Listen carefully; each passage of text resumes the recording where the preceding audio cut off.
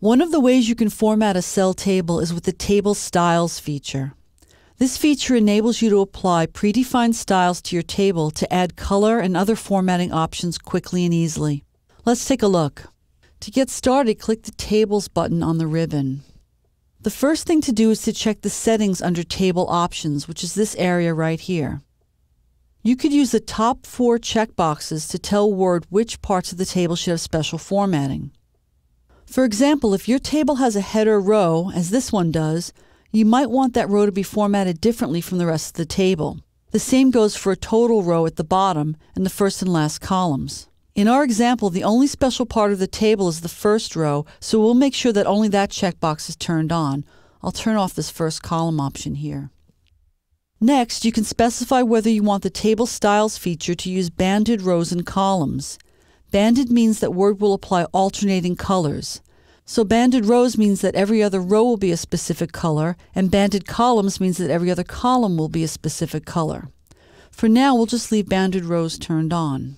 Next, let's look at the available styles.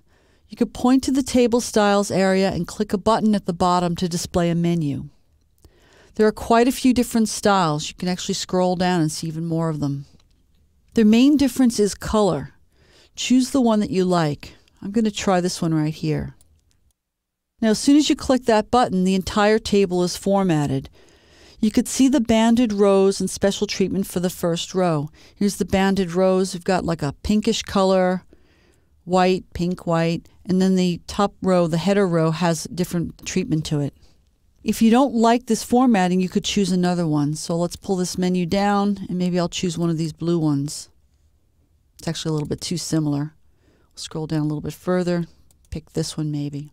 Now, if you don't like the banded feature, you could turn off that checkbox and you notice that all these samples change. So you can now pick one without the banding. Now, you're not stuck with this formatting. You could pick one that you like and make changes to it so it's perfect. You do this by selecting cells and applying various formatting options that I cover throughout this course. If you decide you want to remove formatting, just choose Plain Tables from the menu. So display the menu again, click Plain Tables, and it goes back to the way it was. So as you can see, the Table Styles feature is a quick and easy way to format a table. If you like a lot of color in your documents, it's a good place to start. But you can always format a table manually, applying your own formatting options to table cells to achieve custom results.